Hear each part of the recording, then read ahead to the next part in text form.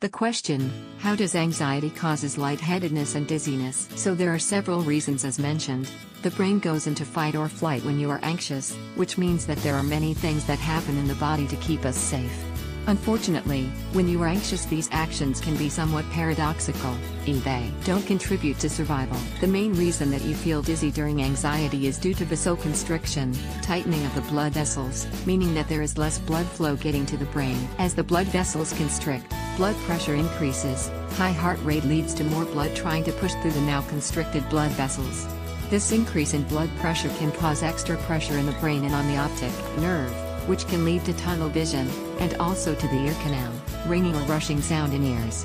Both of these also contribute to the sensation of dizziness. In anxiety this then causing a cascading effect, the brain is seeking what is wrong, finds the symptoms of the above, therefore stays anxious.